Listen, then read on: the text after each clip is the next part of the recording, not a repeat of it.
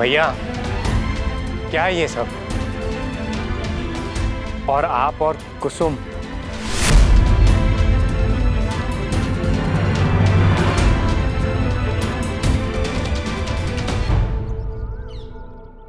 मैंने कभी नहीं सोचा था कि नवीन की मदद करके मुझे इतनी खुशी मिलेगी। तुम खुश नहीं हो कुमल नहीं नहीं। मुझे बस लग रहा था कि सबके सामने ये बात कहने से पहले एक बार आपको मुझसे बात करनी चाहिए थी।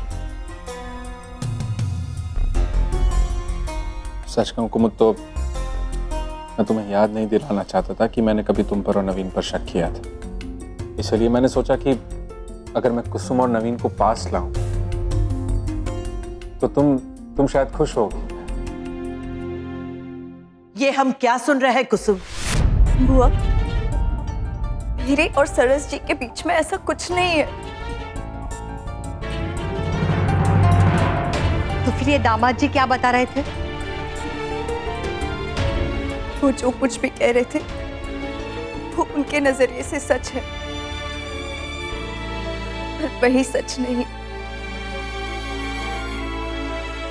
वो उस दिन अचानक और आपको कहना पड़ा कि आपके और कुसुम के बीच में रिलेशन है।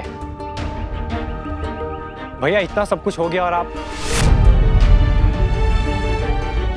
आप मुझे सबसे पहले ये बताइए कि आपने उस दिन अचानक कुमुद जी को फ़ोन करके शादी के लिए मना क्यों किया? क्या हुआ था उस रात?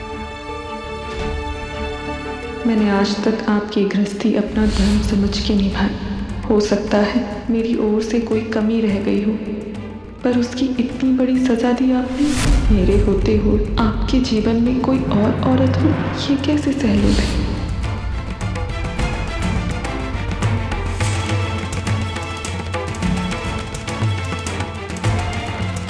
रात अपनी कमज़ोरी की सजा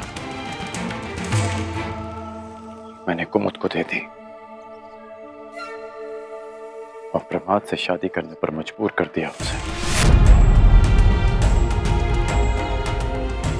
भैया, वो प्रमाद जो आपके और कुसुम के बारे में कह रहा था। मैंने कुसुम की आँखों में भी नवीन के लिए वही प्यार देखा। याद है, जब कुसुम ने हमें बताया था कि नवीन के कमरे से जो कान के झुमके मिले थे, वो उसके थे। और वो कविता जो उसने नवीन को दी थी, ये बातें कहते कहते उसकी आँखें भर आई। ये सारे सबूत सच है जीजा जी, पर ये नवीन जी और दीदी के प्यार के नहीं, नवीन जी और मेरे प्यार के हैं। ये कान का झुमका दीदी का ही है, लेकिन इसे मैं पहन कर गई थी नवीन जी से मिलने के लिए। ये कविता दीदी ने ही लिखी है।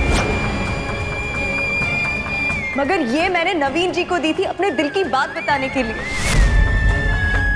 जब मैंने उससे पूछा कि नवीन ऐसा क्या करता है जिसे उसे उस पर इतना भरोसा है? तो पता है उसने क्या कहा? उन्हें प्यार जताना नहीं पड़ता।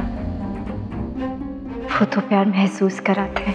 कुमुद अगर तुम वो जवाब सुनती ना तो तुम समझती कि वो दोनों एक दूसरे के कितने करीब हैं।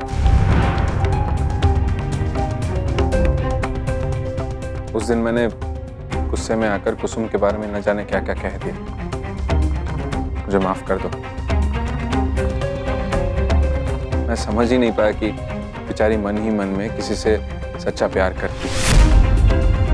तो उसे उसका प्यार क्यों ना मिले कोमल? हम सब के साथ ज़रूर कोई खेल खेल रहा है। पर क्यों? वही मैं समझ नहीं पा रहा हूँ कि वो ऐसा क्यों कर रहा है।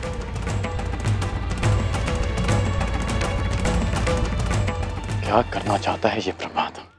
खोटी बात ना बोलूँ।